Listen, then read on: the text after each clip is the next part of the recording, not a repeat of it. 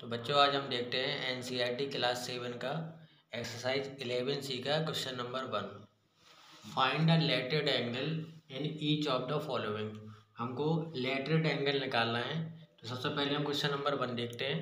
Question number one एक triangle A B C हमको दिया है, जिसमें A B equal to A C के दिया है। A B equal to A C दिया है। हमने जब ट्राइंगल का क्लासिफिकेशन पढ़ा था तो हमने देखा था कि वो ट्रायंगल जिस पर दो साइडेड ट्रायंगल की इक्वल होती हैं, वो हमारा आइसो स्किल ट्रायंगल होता है। तो ट्रायंगल ए बी सी जो हमारा है, वो कौन सा ट्रायंगल है? आइसो स्केल है। आइसो स्केल ट्रायंगल में क्या होता है? दो साइडें इक्वल होती हैं। यहाँ पे देखो A B equal to B C दिया है। हमें एक एंगल दिया है तो अस्सी डिग्री, और ये हमें एस डिग्री, ये हमें एंगल निकालना है। तो आइसो स्केल ट्रायंगल की एक प्रॉपर्टी होती है कि अगर उसकी दो साइडें इक्वल होती हैं तो उनके जो करेस्पॉन्डिंग एंगल हैं वो बराबर हो जाते हैं। यानी कि जो 80 डिग्री है यहाँ पे जो 80 डिग्री है यहाँ पे भी 80 डिग्री होगा। तो x की वैल्यू क्या हो जाएगी? अस्सी। अस्सी डिग्री।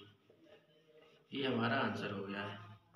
आइसोस्केल ट्रायंगल में क्या होता है? अगर उनकी दो साइडें इक्वल हैं तो उनकी करेस्पॉन्डिंग एंगल भी बराबर होते हैं। तो एक्स एक्स की वैल्यू जो है अस्सी डिग्री के बराबर हो जाएगी और हमारा आंसर हो जाएगा।